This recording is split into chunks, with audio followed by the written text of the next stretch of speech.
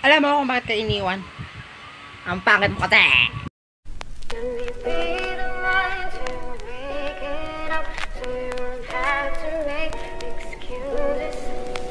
excuses.